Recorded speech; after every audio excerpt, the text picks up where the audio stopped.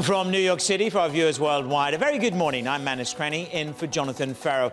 So the CPI revisions set up a beautiful table for risk for this Friday. Countdown to the open kicks in right now. Everything you need to get set for the start of U.S. trading. This is Bloomberg The Open with Jonathan Ferro.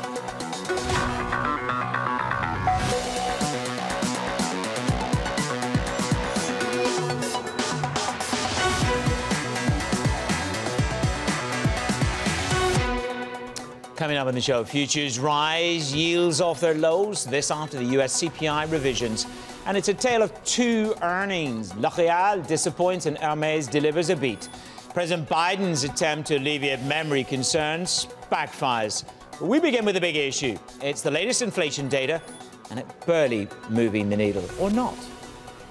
It certainly is a nothing burger, and that is good news. The Fed is focused on PCE inflation, and it's good to know that we don't have lingering concerns about whether the CPI is breaking away from what we've seen in the PCE. And certainly when we look at the PCE deflator, it's slowing. It's above 2% target, but it's headed in the right direction.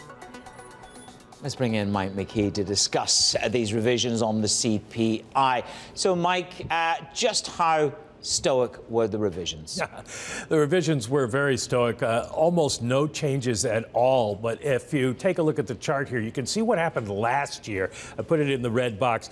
They revised the seasonal adjustment factors, and that pushed up inflation at the end of 2022 and disappointed Fed officials who thought they had been making progress because originally it looked like inflation was falling faster. And that put the spotlight on today's revisions of 2023 data, but Turns out last year was just a one off, and we didn't see much of a change. December's CPI on a month over month basis went from a three tenths rise to a two tenths rise, did not change the year over year number, which stayed at 3.3%. And so uh, it was a, a non event that was seen as good news because in this case, no news was good news. Next week matters, though. We get the CPI, the actual CPI for the month of January.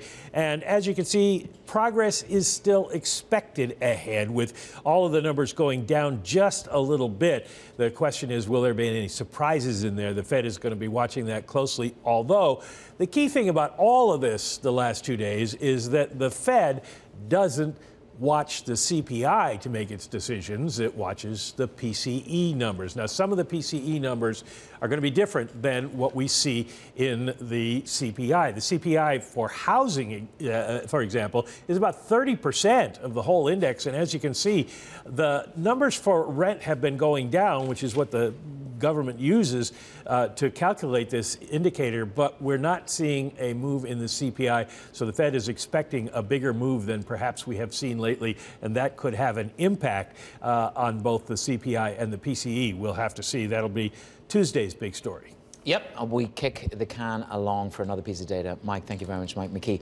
Now, John Hancock's Emily Rowland weighing in on the risk situation. Quote this. The best time to take risk in portfolios is when everything looks bad. Right now, everything is awesome. Optimism is high. The investors should consider managing risk. How do we do that? Let's uh, have that conversation. Emily Rowland and Krishna uh, Memani join me now of Lafayette College. Ladies, good to have you with me. So, Emily, there you go. It, it, it's wonderful days, good CPI revisions, the auctions went well, record after record in markets. How do I manage my risk and my exuberance right now? Good morning. Good morning, Manus. Yeah, it's pretty amazing to see the amount of optimism pervading markets. I'm looking this morning at things like Bitcoin and other crypto related assets surging. That's been reflected in areas like small cap equities.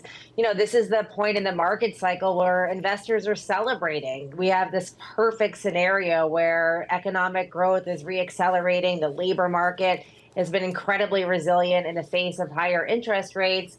Um, and you have the soft landing or even the no landing scenario looking ever more likely. We just want to be careful right now. Um, we're seeing investors reaching for risk here. We're seeing, uh, again, a lot of optimism across markets. It doesn't mean we don't want to participate, and we're still invested. We're finding opportunities across equities in a risk managed way. We're looking at bonds as having the potential to do more heavy lifting in portfolios. We just want to be mindful of the fact that oftentimes in this these late cycle environments, everything really looks awesome uh, before there becomes a, a challenge, a liquidity event, some type of financial potential accident here. So we want to be mindful of risk in portfolios as we head into the remainder of 2024. I like the phrase, it's a moment in the cycle of, of, celebration, but I think we're so scarred by a number of events. The most recent, obviously, is the pandemic. Um, Krishna, good morning to you. Uh, cycle, we're in, we're in this celebratory moment in the cycle. Yields have actually backed up through the week 15 basis points on the 10 year paper. The auctions went grand, the CPI was reviewed. On this backup on yields, this must present a good opportunity, I presume, to pick over the bones of these auctions and pick up some duration. Okay, so I, I think the, the, the point she was making was extraordinarily good. That is uh, the the environment today is a good environment and valuations to some extent largely reflect that environment. So the question becomes how do you risk manage your portfolio and what is really the risk that you're managing towards? And I would say the risk that you're managing towards is really not growth continuing in a meaning, uh, continuing to be really good, what you're managing for is uh, the, the, the likelihood of growth slowing down precipitously. And in that context, I think uh, the bonds, uh, long bonds, and in, at the current levels, offer a really good opportunity. Doesn't mean they will do well if the current trend continues. I think they will probably uh, tread water. Mm-hmm. But if the risk of things softening in a meaningful way comes about, do you think that's a real risk, Krishna? A precipitous slowdown, because that I mean, is that a left tail risk as opposed to your base risk? Oh, absolutely. I think the base case is that the things continue the way it is, and the market continues to grind higher uh, in in equities, and everything else basically treads water because uh, they are reflecting the current level of play in in rates and in in credit. So that is the core view. But I think if you wanted to risk manage your portfolio, what would you do? You certainly wouldn't sell equities here. What you would do is buy long bonds. Okay, long bonds are, are the hedge. Uh, Emily, you, you make this point. I think you put it very nicely. The S&P 500, the growth index, is trading at 26 times forward PE. So that's about a 46% premium to the 20 year average. You're going to have a strong stomach for this stuff. Stocks can trade expensive if they deliver above market earnings growth. Now, do you believe that we are in late cycle earnings growth? Is it going to be challenged? Are wages going to challenge that? Or is this momentum in earnings growth going to be sustained? Emily. Well, yeah, nothing to worry about here at all. Just a good old fashioned 46% premium to its 20 year average. Um, you know, it is. You signed like more... me, and that worries me. That, that, that actually worries me. Go on. to see here. Uh, no, I'm, you know, certainly valuations are becoming egregious, especially when you look at that mega cap tech, large cap growth indices. But earnings right now are delivering. Um, you look underneath the hood and, and tech's producing earnings. Um, it's higher quality. These are companies largely with great balance sheets, lots of cash.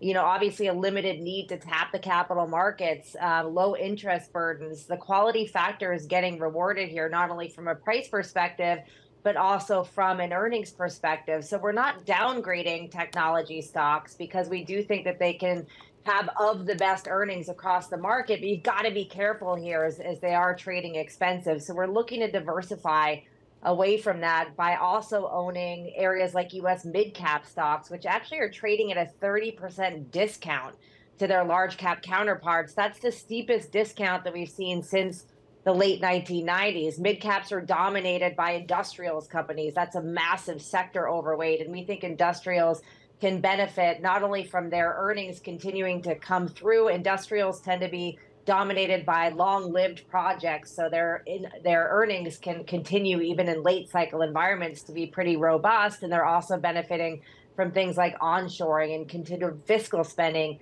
in the United States that's been targeted at things like EV production and semiconductor plants. So we think there's other opportunities outside of tech to kind of balance out that valuation risk that's there. You can come and have breakfast any day with Dani Burger and myself. She's an evangelist for, for, for small caps, more so Russell 2000. But can I just ask you to qualify that? Are you prepared to step in and take risk in mid caps before the rate cutting cycle starts, or do you need a sustained rate cutting cycle to deliver value in the mid caps? Yeah, you don't. And I want to distinguish between small and mid cap equities. We do have a preference for mid caps, not mm-hmm. only because of the onshoring theme and the story around industrials, but if you go underneath the hood at the small cap indices, almost 50% of the Russell 2000 index is comprised of companies that are unprofitable. You're also seeing a lot of, again, crypto related assets creeping up into these small cap indices. So there's a lot of risk inherent there we would wait to more fully lean into small cap equities until there's more evidence that we're in an early cycle environment. When we see that first kind of resounding bounce higher in economic data coming out of an economic contraction, which we still anticipate here. So I don't think the time is quite right yet for small caps, but we really like mid cap equities in the US as a way to play this reshoring theme. Krish, how do you come down in this, Krishna, in terms of uh, uh you know the big cap to the breadth argument? Well, so I, I, think it's fair to say that the, the, the breadth issue has been with us for uh, quite some time. But I think it is also important to kind of uh, reiterate the fact that that hasn't stopped the, the large cap indices from doing reasonably well. So I, mm-hmm. I think the case for uh, cheapness of small and mid is real. You know, they are definitely better value. But that doesn't mean that for the next six months uh, uh, they can do reasonably well in the current environment or do better than what large caps are going to do in the in the current environment. Yes, they are cheap, but they can remain cheaper until there's a, a, a there's a kind of a industrial renaissance that Emily's talking mm-hmm. about kind of becomes very apparent, which isn't so uh, you know so apparent at the moment when you hawk over the coals, this is for both of you to, to, have a think about. When you hawk over the coals this morning, Hermes manages to sell to the super rich at increased prices. L'Oreal has got challenges in Asia consumer. Expedia apparently we're not booking as many holidays or certainly not of the same value. So you, you are seeing dips in things like Snap eh, eh, and some of those mm-hmm. some of those customers. When you look at the news flow this morning, Emily, let's just deal with that sort of luxury consumer side. It seems as if there's a bifurcation going on there between high-end luxury um, and the rest of the market. Yeah, absolutely. And, and you are starting to see some challenges to the consumer at the lower end of the market. I've been focused a lot this week on looking at things like the delinquency data that we're seeing. Um, we're definitely seeing that perking up, especially for the low end consumer. Um, you know, we know that loans are really, really challenging right now. Credit card interest rates are 25 to 30% right now. Auto loans are double digits. So the consumer is really starting to get squeezed here, and you're seeing it in this bifurcation across earnings. You know, broadly speaking, most uh, the the labor market again is relatively healthy here, mm-hmm. so you're seeing consumers continuing to spend. But I think there's a challenge to that narrative, and I would just finally bring it back to broadly what we're seeing in corporate earnings, which margins are starting to get compressed. You're seeing that higher cost of capital eating in uh, to those margins at the same time that record revenue growth, which was helped a lot by $5 trillion in fiscal stimulus, is starting to normalize. So companies are dealing with that by cost cutting and laying off workers. And those are the companies that are showing strong results here. And they're doing it by cost cutting, not necessarily uh, growing from a top line perspective. So this is a pretty normal for a late cycle environment. It means you've got to look underneath the hood to identify companies with superior earnings prospects. And that chimes for you, Krishna, doesn't it, in terms of big is beautiful, in terms of balance sheet, in terms of cash flow. I mean, that's where you want to lean into. Uh, yes, very much so. I, I, I think at, uh, uh, Emily's thesis will play out at some point in the cycle for sure. But whether that plays out over the ne- next six months, uh, I, I, think is the part that I'm kind of raising uh, raising issues with. But uh, the, the uh, at the end of the day, as far as consumption is concerned, it's really employment and income growth that drives it more at the aggregate level, anyway. Uh, drives it more than anything else, and that still looks very, very, uh, very, very robust. And the other thing about kind of the late cycle thinking is to remember remember that that late cycle can last for a long period of time. And mm. that's that's the one thing that we have to be very, very cognizant of. It's not inevitable that the late cycle ends in a six-month time frame or 12-month time frame. It can continue like this for a few years based on fiscal spending alone. Okay, uh, mm-hmm. let, us let's, mm-hmm. let's let's see where we go to next week. We get that C, those CPI numbers, uh, which of course won't make or break sentiment, but I think it will certainly add to the narrative uh, about the timing of potential rate cuts from the Fed. Thank you so much for being with me this morning. That's Krishna Memani and Emily Rowland, my guests. Let's take a look at the stocks that are moving ahead of the opening bell. Katie Greifeld is with me. Katie. Let's kick off with NVIDIA because it's adding to its already very impressive rally. Of course, Reuters reporting this morning that NVIDIA and Swedish telecoms firm Ericsson are in talks to co-design a chip that is boosting Ericsson, but also NVIDIA. That's good for a 1.6% rally pre-mark. And then we move on to some earnings stories. Pepsi, it's been wiggling around this morning. It was lower a bit earlier this morning after delivering a disappointing full-year sales forecast. That's in addition to the drop in volumes that they reported. But you can see shares pretty much flat now, just a little bit higher. And then we have to talk about Affirm. Of course, this is a buy now, pay later company. It's having pretty bad morning. It delivered a weak outlook. The company's forecast for annual transaction volume came in below expectations. And you can see the stock is being punished pre market, currently down by over 6%. Katie, thank you very much. A pretty big move there to the downside. Coming up, banker bonuses, sharp in focus in the culture, they see the upside momentum. So I think compensation is reflecting all of it, but it's measured. Wall Street watching Barclays today as it plans to ditch dozens of payouts for employees. That conversation next on Bloomberg.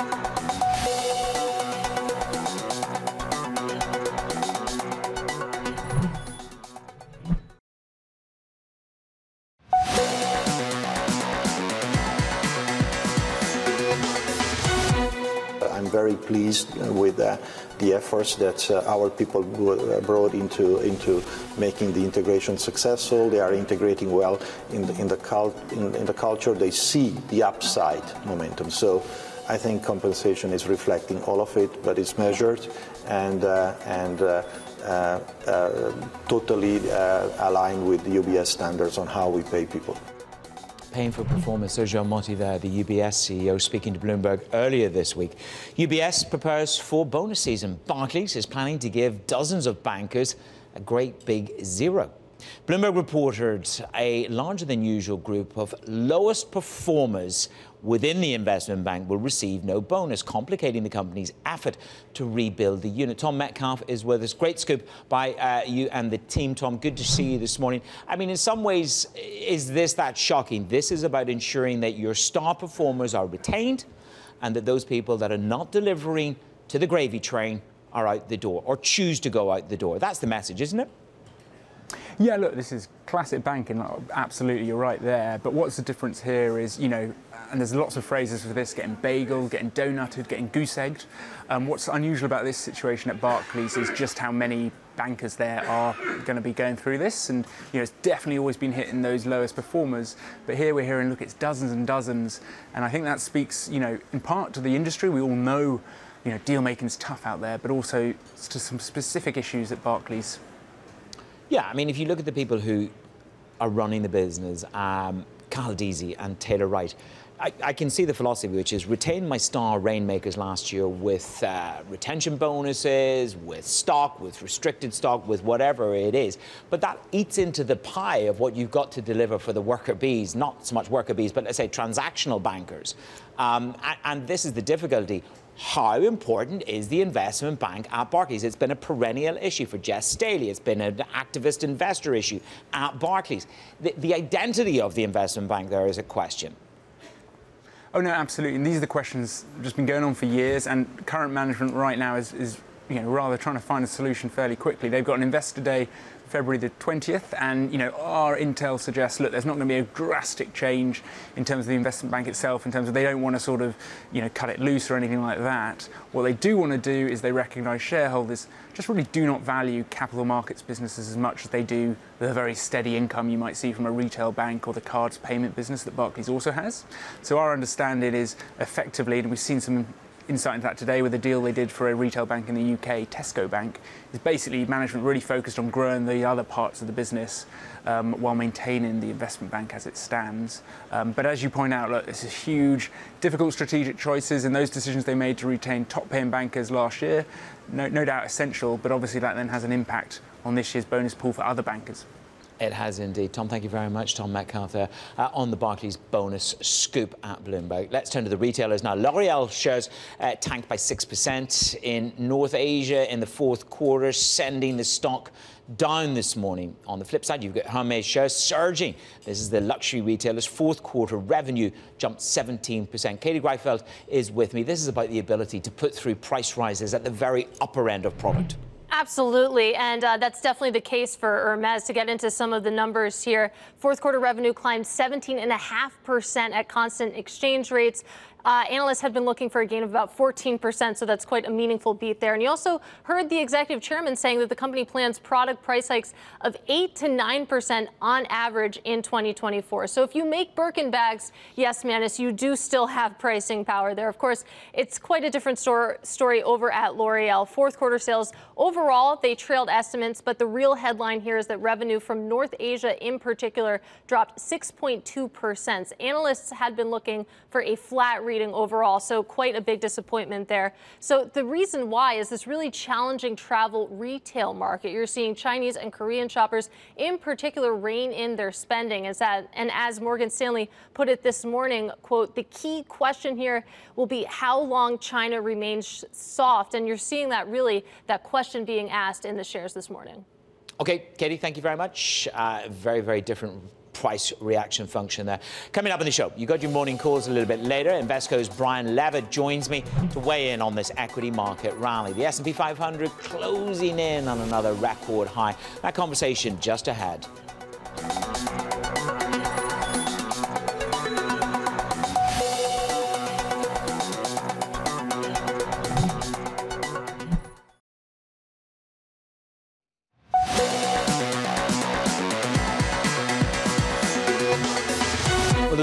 Rerun in the revisions of the CPI coming in for uh, the, the, the, last quarter and for December. And that gives equity markets a little bit of a bid. You've got Palantir uh, on the up, so that's part of the tech narrative nicely above 5,000. That'll do for the psychology uh, on a Friday. It's incredibly important. Morning calls, this is what we've got uh, from Wall Street. First up, Evercore upgrades United Airlines to outperform, expecting a meaningful shift in the company's capital allocation. Bank of America downgrades Expedia to neutral, growing increasingly concerned about the outlook for earnings. And finally, Raymond James downgrades Prudential to market perform, seeing limited upside given the stock's rich valuation. Speaking of which, Week five of the gains. Will it endure? Are you full bull? Is there concentration risk? Any flashing red signs like Bank of America sees? Uh, well, we'll put that question to Brian Levitt. He joins me very shortly, weighing in on this rally right here on Bloomberg.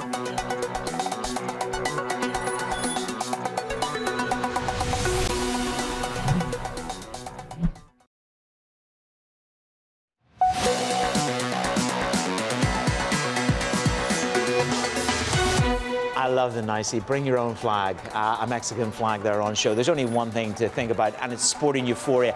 As yields rise, equities still manage to trade higher. Two-year yields at the bottom of your screen are the highest since the middle of December. We're above 5,000. It is Super Bowl weekend. What is not to love about this Friday? Uh, we're rolling over to the cash market. You've got the Nasdaq up a quarter of 1% again. Uh, Palantir trading on the upside. So this is quite a bullish uh, start to this Friday countdown to the open. There we go. Flat on uh, the dollar, euro, and yields, as I say, on the 10 years. They're trading just up three ticks. We move higher by about 15 ticks, and still it has not dislocated the equity market rally. And that's the important point. Uh, you are just seeing two and five year yields at the highest level since December uh, the 13th, and that was just before the revisions. But yields tick higher. Crude trades up 1%. Uh, we put on 6%, nearly 6% this week. There's your two year yields at the bottom of the screen, 448. Let's stick with one of the stocks. PepsiCo. The company delivering a disappointing outlook amid weakening volumes in North America. Katie Greifeld is with me. Katie.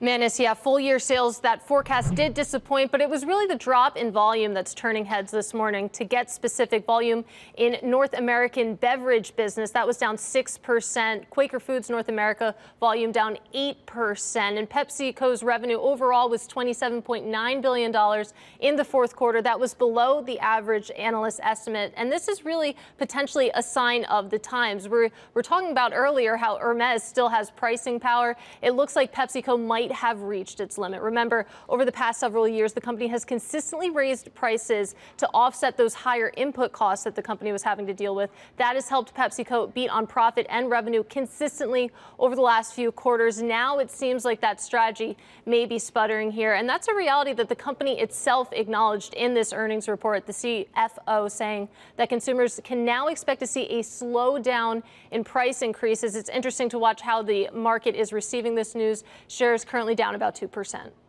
Katie, thank you very much. Let's stick with the earnings track. Pinterest shares under pressure, missing the holiday revenue estimates. Ed Ludlow joins me from San Francisco. So, again, another bruising uh, for Pinterest. We saw some snap action earlier in the week. Take it away, Ed. Yeah, I mean, we're down more than 10% at the Open. That puts it on track for its biggest drop since April of last year, I think. But it is not as severe as the knee jerk we got in after hours when the numbers hit. Top line growth of 12%, uh, $981 million of sales in the quarter gone, but below the expectations of the street. And what's so interesting here is similarly to Snap, they showed some user growth, uh, users reaching 498 million monthly users, which is a record high for them. The concern is their conversion, right, and the strategy behind uh, how they reach an audience on behalf of advertisers let's play the game of is Manus or is Manus not on any given social media platform. But like my use of Pinterest has been, for example, around when I plan my wedding with my wife. You bid up storyboards. What Bill Ready, the CEO, has done is said, how do we take that concept on the platform and convert it into transactions? In other words, direct response ads. Direct response ads, when he took the helm, were about a third of their business. Now it's two thirds. But it's not necessarily uh, materializing as the top line growth that the street expects. One piece of standout news as we continue to be down 9.5% is that they announced a partnership with Google. Um, similar to what they've done in the past with Amazon. The idea being that if you are uh, faced as a consumer with a picture, you have a way to click through resulting in a transaction down the road. And the partnership with Google substantive because through Google shopping platform and search, it gives Pinterest an audience that's global, not just in North America. Uh, not getting a lot of love though, down 9.5%. Now look, Ed, we've just had a little bit of breaking news come through. This is uh, through X and BetMGM. They're going to sign a sporting partnership. Um, so this is an interesting sort of side shift for the X brand. Uh, Bet, e, uh, BetMGM, uh, each game linking to BetMGM's website. Talk me through yes. this. What's the rationale here? Just think about X as a distribution platform you know, that is how all of the sales and ad executives working at the company are pitching this, right? So it appears in the timeline tied to Super Bowl Sunday, but it, you get redirected to that uh, third party, which in this case is BetMGM. It's a traffic provider. There is so much news coming out from X this morning. We're actually going to speak to their head of uh, partnerships uh, in the 10 o'clock hour, so tune in for that, Brett Weitz. But the other piece of news uh, that Bloomberg's reporting is they're out there right now shopping ad slots for the Super Bowl, ranging from the kind of hundreds of millions to the million, uh, sorry, hundred thousands to millions for small increments. And they have this partnership with WWE. What you're starting to see is X reposition itself from text to different forms of content, but they're doing it through partnerships where there's a kind of ad share um, or revenue split concept with the third parties with which you sign deals. That was a lot, uh, but I hope it makes sense. Yeah, no, no, no. It, it does. I mean, it's about it's, it's about progress and evolution of what is the X platform, and it is obviously a multimedia platform which is engaged in sports. It's it's huge. Uh, and by the way, they've said that major professional and college sports will follow in weeks to come. So again, it's about building yeah. uh, momentum in terms of the generations. Ed, thank you very much deftly handled. Uh, we'll also be watching the shows of Affirm. The buy now, pay later company is forecasting less than expected as questions arise about how long consumers' post pandemic spending spree can really last. Isabel Lee is with me. Isabel. Hi, Manus. Shares of Manus are now flat. Actually, edging slightly into green. In pre-market trading, it was down as much as 9% and also just a few seconds ago. But analysts said that conservative, the guidance was conservative because they're not seeing a slowdown in the second quarter. The buy now and pay later firm expects the forecast of gross merchandise volume to be lower than consensus estimates for the year. But the thing is, in the recent quarter, in the second fiscal quarter, they did top estimates. In fact, we have the CEO saying that this is the fastest growth pace in over a year. So there's that. But now shares are kind of flat, up about four tenths of 1%.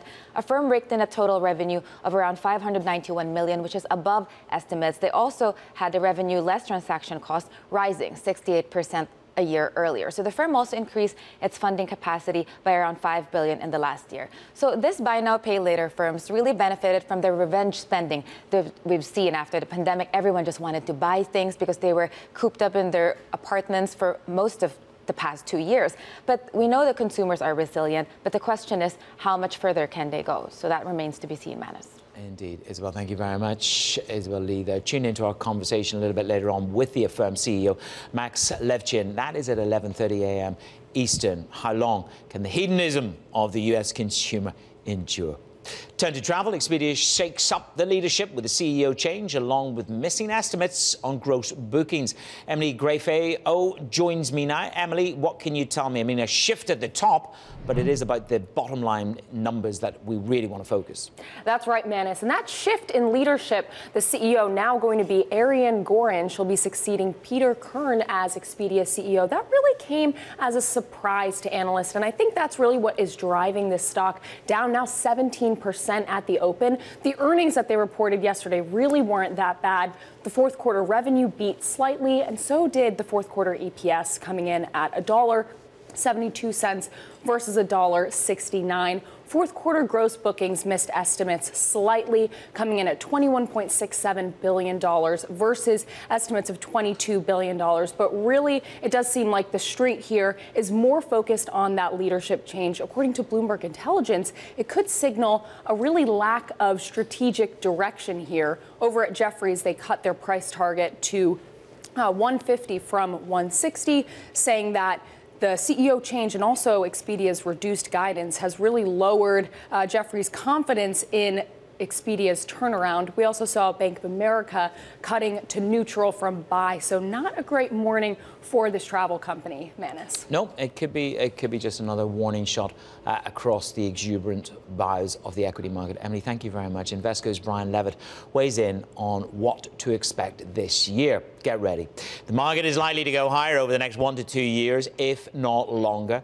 Peak inflation, peak tightening Peak interest rates have historically been good for equities over the subsequent years. There's nothing can stop the train for Brian Levitt. Brian, good morning to you. Expedia down 18%, Snap down 30%, advertising under pressure.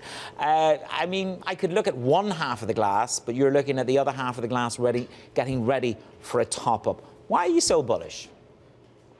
I think it, it's a it's a two different environments. So in the short term, you may you're going to see the economy slow, and that's what's weighing on earnings a little bit. That's what we wanted, right? That's what the Federal Reserve was trying to bring forward. So the economy slows a little, you get a little bit more of a concentrated market, and and maybe the market a little bit more challenged in the near term. But my point is to say. Think over the next couple of years. If you look at just about any environment where we've had inflation move up significantly. Once it's peaked, not when it gets back to 2%, once it's peaked, the next multiple years have historically been good for equities. That's been my North Star. It worked, it has worked very nicely since inflation peaked in June 2022 and continues to be my view pretty stoic equity markets. I, I, I caught myself short. Two-year and five-year paper at the highest level since the middle of December. And, you know, this equity market has gone on to evolve even higher. New records, uh, record all-time highs for the S&P 500. Now, can that lockstep prevail with higher yields and higher equity markets? That is not a marriage made in heaven. Well, we're recalibrating a little bit. So you saw a very broad market in November and December um, on the result of investors believing the Fed funds rate was going to 375. And now we're backing that out a bit, yeah. which is why you've seen, for the most part, small and mid caps underperform the mega cap growth names. That's less healthy, as we both know. And so I, my point again is to say that that I would expect that you may see some. Um, more of a defensive shift in these markets, a little bit more challenge in the near term. But but over the intermediate term, rates are going lower as this economy slows and as the Fed eases, and that that finally gets us out of what's been a bizarre COVID environment and gets us on to, you know, call it a, a mid-cycle slowdown that we emerge out of. I'm just looking at this backup in yields, and I just wonder to what extent do you incrementally pick that up? I've just opened the Bank of America flow show. Flows gravitate to IG and high yield over government bonds. And again, this goes back to the narrative. If we're going into a cutting cycle, why not pick up a little bit of IG and high yield? Is that how you differentiate? Are you more driven to credit than you are to bond, than you are to sovereign? Yeah, over the next couple of years, credit should outperform again because we should have a mid-cycle slowdown and emerge out of it. And the early stages of that recovery should be very beneficial to corporate bonds. I think that the challenge investors have right now is they love money market and they love money market because the yields are attractive and the historical volatility is low. Um, and they're not feeling the reinvestment risk to the extent that we thought they may have, because that, to your point, rates are backing up a little bit. My opinion, that's not going to last forever. This Fed will ultimately normalize this yield curve, which yeah. means money market investors have a reinvestment risk. And, and I would say, yeah, lock in yields where you can. Fundamentals in the corporate space look quite attractive. I mean, it would just qualify. Uh, you know, I'm just looking down here at the rest of the the rest of the lines. High grade funds recorded another significant inflow last week, the 14th inflow in a row, and the largest since June 2020. Uh, are there any flags that talk? I mean, lots of people this week have talked about concentration risk, over concentration in Mag 7. Um, here you go, 14 weeks in a row into high yield. Um, it's, it's pretty it feels pretty maxed out for risk. But you say no Manus, any drawdowns, buy into them. It, it's a strong, it's a strong market, strong world. Embrace it. Yes, that's that's what I feel. There's there's very little excess in the economy. Um, there's not a substantial amount of leverage. Um, business okay. borrowing's actually been moderating on a year over year. So yeah, it's it's the Fed eases and these markets uh, are going to want to go higher. I love what you say. Uh, you know, we escalated quickly. It was a wrong, Ron Burgundy moment, um, but you were disappointed. I think it's brilliant. I mean, it's amazing the things I wade through when I get ready to go on a show. It was a Ron, Bur- as Ron Burgundy would say, uh, it, it, it felt as if it all sort of went really, really quickly, and you're just disappointed that there's not more breadth. So why not weigh in on the breadth to Mag 7 argument? Have your say, Brian. Yeah, I mean, we're. I would have thought that I would have hoped that that small and mid cap rally would have lasted a lot of 2024. You got the whole 2024 outlook before the year even started, and now you have a a market that's recalibrating where rates are going. Ironically, recalibrating rates higher. Ultimately, I think it's an economy that slows. This is what we've been trying yeah. to get, and in a slower economy, you get a bit more concentration. The other side of that is easier policy, a recovery trade, and broader market participation. As I've said a hundred times, I'm a FOMO guy. I don't want to miss out on that. And my expectation is over the next couple of years, a broader market that I want to participate in. Listen, I'm with you 100% on the FOMO. Weaponized FOMO is the line of 2023. uh, let's see, it is turning into that 2024. Brian, thank you very much. Brian Levitt uh, on the markets. Coming up on the show, President Biden attempting to alleviate his memory concerns. I'm well-meaning, and I'm an elderly man, and I know what the hell I'm doing. I've been president. and I put this country back on its feet. That conversation ahead on Bloomberg.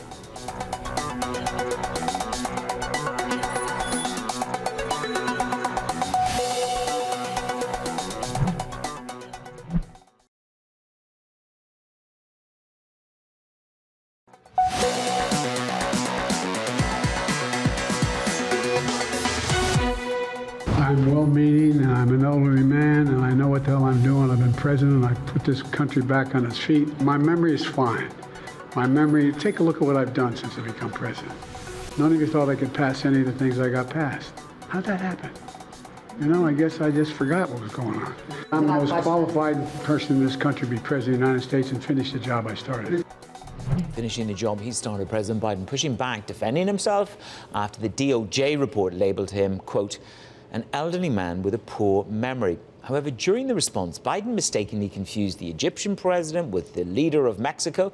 Meanwhile, his likely rival, presidential rival that is, Donald Trump, moved one step closer to the GOP nomination after securing a win in Nevada caucuses. Kailey Leinz is with us. Kailey, thank you very much uh, for coming in for this. I mean, when you see the presentation, the body language, and even the sound of the president yesterday, he was quite vexed.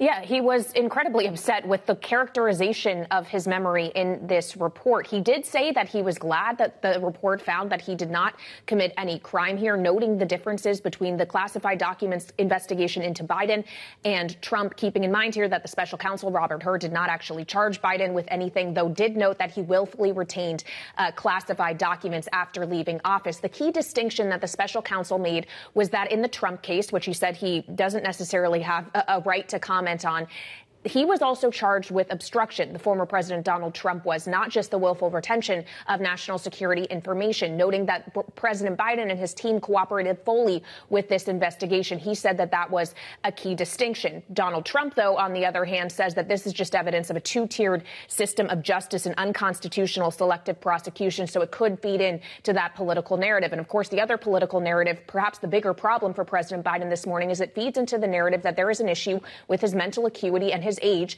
at 81 years old and that he cannot serve a second term in office because of the language in this report. Things like the special counsel saying he could not remember key years in which he was serving as vice president, even the year that his son Beau died, which upset the president uh, greatly.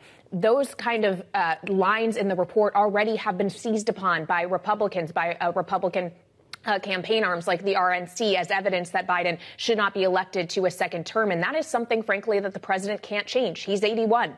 There is nothing they can do to to spin that. It, and it, the gaffe, like last night, saying that the president of Egypt, President Al Sisi, was the president of Mexico, didn't do much to turn that narrative around. Well, yeah, and, and, and the slightest mistake or misspeak or misstep yes. is grabbed upon on, on, on both sides. Um, Kailey, where are we with Trump? Because he wins the Nevada Republican caucus. So, what does this do for the evolution for the ticket?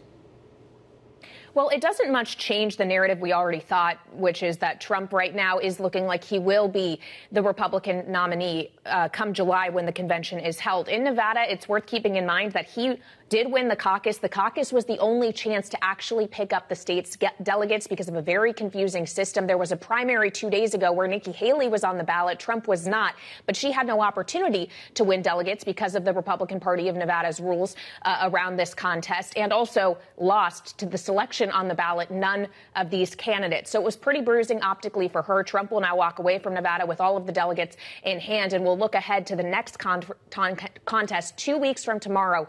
Is the South Carolina primary on February 24th in Nikki Haley's home state where she served as governor. She is still lagging behind him significantly in polls in that state.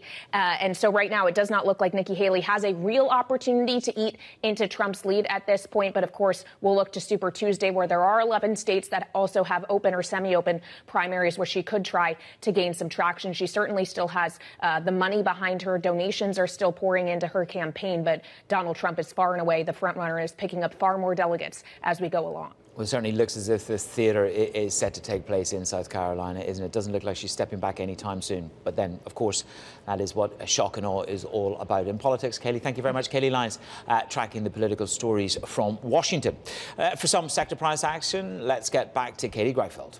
A quick look here. You take a look at the S&P 500, just slightly higher. You have five sectors in the green right now. Big tech and energy hand in hand, pushing this index higher. Big tech leading the way. They're up six tenths of a percent. You do have six sectors in the red right now, and that is led by consumer staples. That group down about eight tenths of a percent. A lot of those losses coming, of course, from Pepsi with that disappointing earnings report dragging that sector down. But overall, we're pretty much an even split, and we are above 5,000, Manus the magic number. Katie, thank you very much. Coming up, we'll set the events for you to watch. It's counting down to CPI on Tuesday.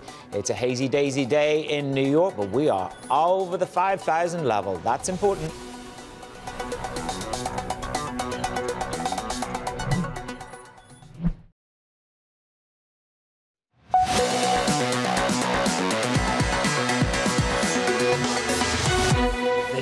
Nothing can stop this equity market at the moment, even rising bond yields to levels that we haven't seen since last autumn. There's the Russell even coming up, the Nasdaq up a third of 1%. Uh, some tech on Palantir is rising. It's Super Bowl weekend. I know that you wanted me to say that. Let's uh, see what's in your trading diary. We've got Super Bowl in the diary. Uh, well, we've got a bit of Fed speak first of all. Dallas Fed President, President Lorie, Lorie Logan speaks at 1.30 Eastern. And you got it. Sunday it is the Kansas City Chiefs versus the San Francisco 49ers in the Super Bowl. Pay to play on the advert slots. And we get the CPI data on Tuesday. Plus, Coca Cola report earnings before the opening. Just tracking Pepsi. Will they? Will they disappoint? Thursday retail sales. That was Countdown to the Open. We're back on Monday morning. Good morning from New York.